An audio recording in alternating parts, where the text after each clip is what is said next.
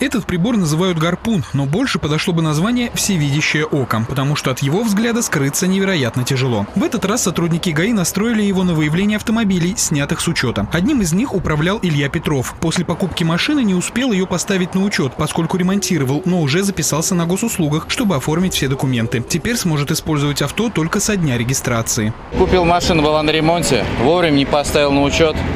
Вот записался на 29 число. Водители на автомобилях, не поставленных на учет, по статистике одни из самых опасных, поскольку они часто нарушают правила, зная, что штрафы с камер видеонаблюдения им не придут. Поставить машину на учет после покупки требуется в течение 10 дней, однако многие не торопятся, продолжая ездить без регистрации. Если такого нарушителя поймают, то ему придется заплатить все штрафы, которые он собрал за этот переходный период. А зачастую водители пренебрегают правил дорожного движения, проезжают на красный сигнал светофора, выезжают на полосу встречного движения. Выясняем все обстоятельства.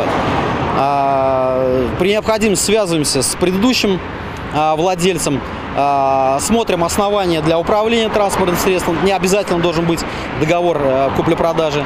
И уже принимаем решение в соответствии с действующим законодательством.